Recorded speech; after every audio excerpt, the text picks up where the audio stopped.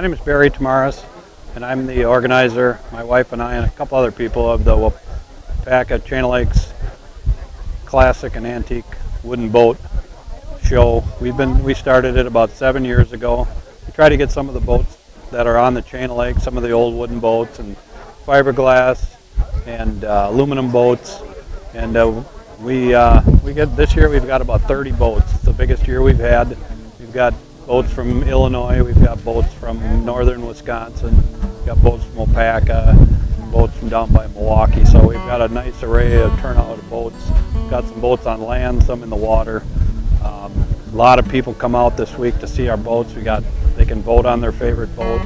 We give away trophies for the best of show and for the uh, best inboard, best outboard, best non-motorized. We have a number of different trophies we give out.